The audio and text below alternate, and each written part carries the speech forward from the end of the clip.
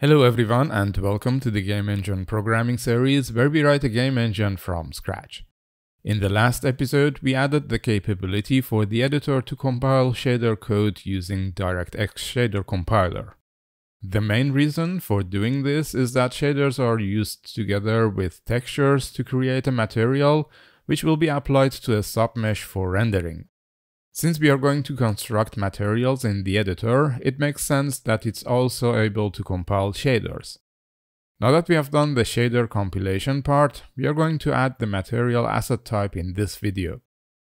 Before we start, I'd like to fix a small typo that I made in the previous episode, where I renamed the element type enumeration and had to update the geometry editor's code. This should be a static normal instead of skeletal normal. You can see here that if I run the editor, the textures are missing in the primitive mesh dialog.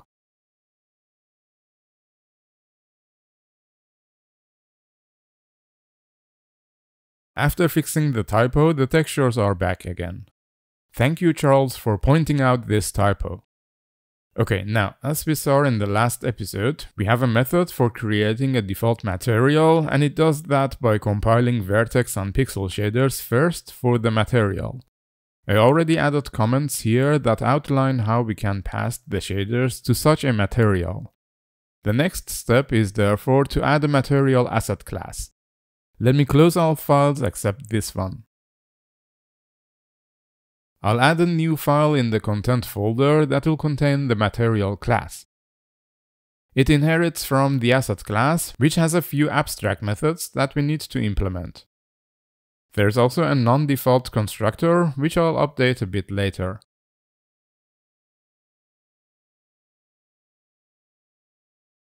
The default material can be accessed using the default property, but it's also fine to use default material property in default assets class. We could use a list of shaders with as many elements as the number of shader types. Here I use the dictionary instead. That way we don't have to waste space for shader types that we don't use for the material. Next we have properties for the material type and material mode. Material type is used in the engine to determine the render pipeline settings. At the moment, we only support opaque materials.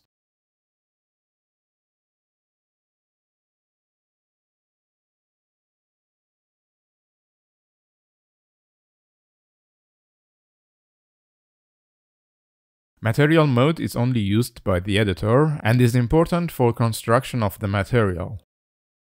We'll start with the default material, but later we'll add a material editor that can construct materials either by writing shader code or by using a node-based approach for non-programmer artists. Looking at the material definition in the engine, we see that it has a material surface which contains various properties of the material that can be used as constants for the entire object. These are used when there is no texture for any one of these properties.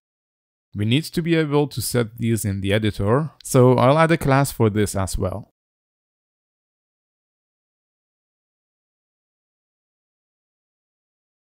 It's simply the same properties, defined in a way that can be interacted with using WPF.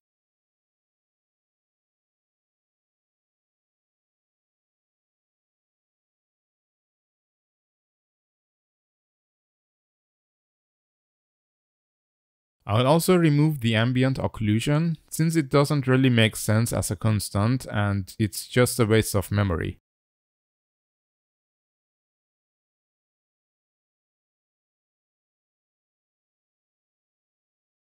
We use 1 as the default value for the ambient occlusion in the shader code and remove it from the per object constant buffer as well.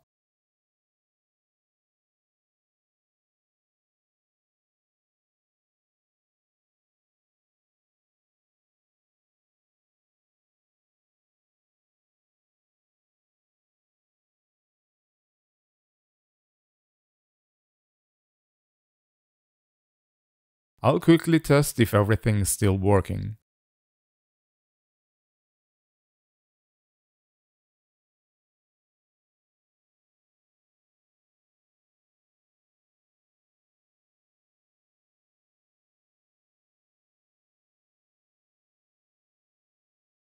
Looks like I forgot a semicolon here.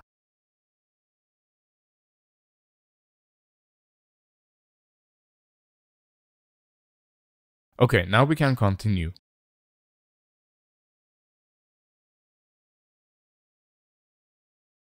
Let me add the emissive intensity and set default values for each property. The base color has a mid-gray color, emissive color is black, and the intensity is 1. The metallic value is 0 by default, and it's obviously not a color, but a floating point value between 0 and 1. The same goes for roughness, which has a default value of 0.9. We want to save these along with the material, so I'll add the usual from binary and to binary methods. Actually, let me first write the to binary method, so this makes more sense. In order to save these, we write each channel of each property separately as a floating point value. And the from binary method is the same thing, except now we read the data. As we'll see later, we also need to copy the data when we use materials. So here's a clone method.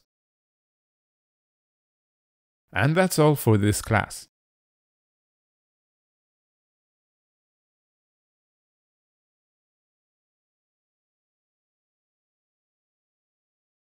Like I said, each material has material surface parameters added here as a read-only property.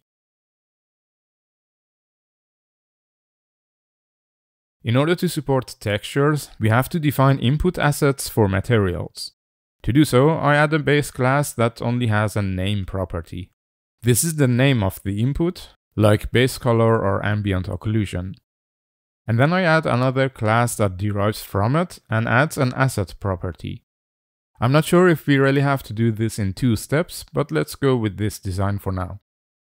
Using these classes, we can add another class for default material inputs.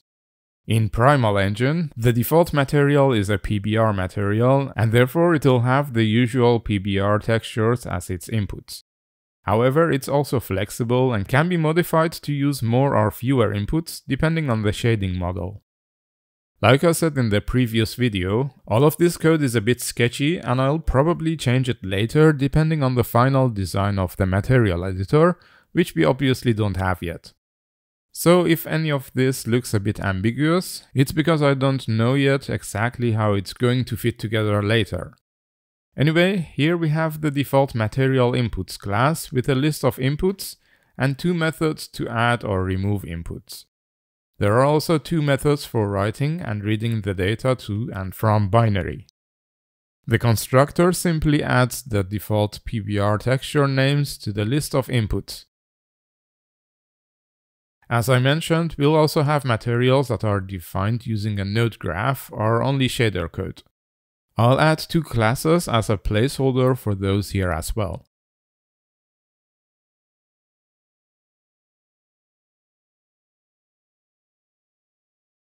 The material asset contains a property for all of these, and we'll select which one is used depending on the material mode. For example, in order to get material inputs, a switch is used to call getInputs method of the property that corresponds to the selected material mode.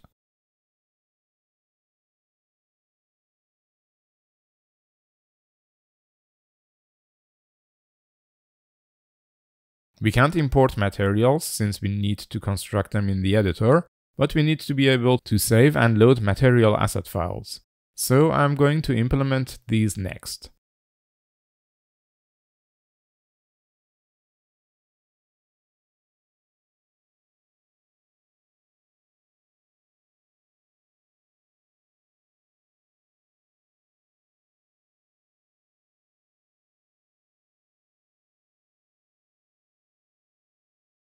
Again, it's better if I write the save method first, so the order in which we read data makes more sense.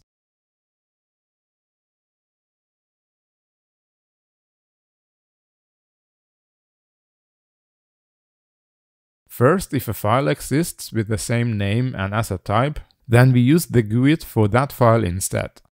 Next, we need an icon for this file. Ideally, we would like to render an object using this material and use a screenshot of that for the icon. However, at this point we can't make such a render, so I'm going to use a checker image that we use for the texture editor's background. Of course, feel free to use any image that you like for this. Now we can write the asset file header, which contains the information that's common for all asset types. Next, we write the number of shaders that are used for this material. Then we get all shader groups and call their toBinary method in order to write their content. We looked at these methods in the previous episode, so feel free to watch those videos if you haven't already. Finally, we write the material type, material mode, material surface, and inputs. Later, we'll also save the node graph and the shader code if any. Well, the shader code is also saved with the shaders here, but I can imagine there will be more stuff in here to save. At the end, we return a list that contains the saved asset file name. When loading a material asset file, we use a binary reader to read the data in the same order, starting with the asset file header, followed by shader count, shader groups, and so on.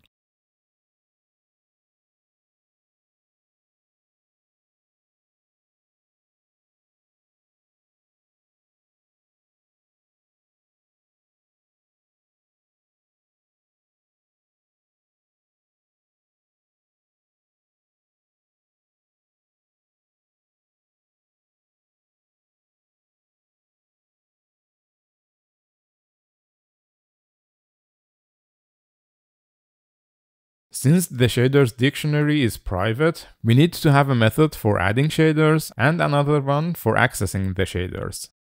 We probably also need to be able to remove shaders, but let's do these first.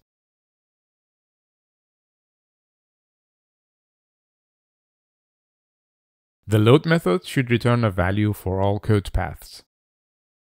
Now we can create a new material asset file for the default material during startup. All we have to do is uncomment this code and run the editor.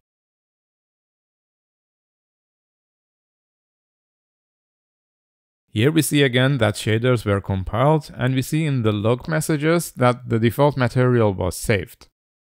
Looking in the default assets folder, we see that there is indeed a new asset file which we can copy to the content folder of our project. Here is the material asset with the checker icon. Unfortunately, we don't have a material editor yet and we can't open it. Almost forgot to uncomment this as well. And with that, we are at the end of today's video. In the next video, we are going to create a class for uploading assets to the engine. As always, thank you for joining me and I'll see you next time.